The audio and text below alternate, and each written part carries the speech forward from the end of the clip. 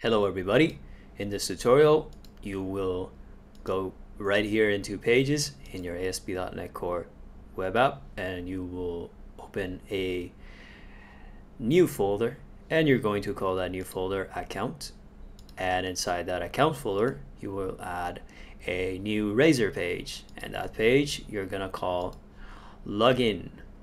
And in the view side of it you will have this code which you can copy it is exactly the same code you're going to need. So copy this and you can just pause it and copy it and then you can copy this.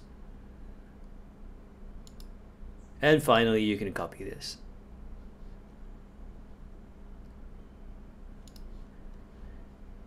After you do that you will see this is all the code you will need to do this on your computer. Copy this up to here and this property right here. This one is comes with the file and this one we're going to need.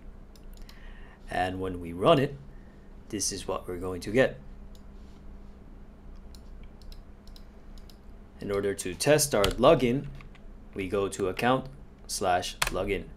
And here's our login. And we're going to type John, and then we're going to type a really complex password that you guys are never going to guess.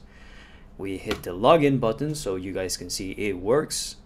And if we type here credentials and we go username, we get the username. And if we type here credentials dot password, we get our password. So that says MVVM as it gets, super fast, super simple. If you guys need to see this in your computer, you can always copy the code and in the next video, you will be able to see how we can process this correctly in order to have good cybersecurity practices. Hope this video was useful. Don't forget to like, share, and subscribe.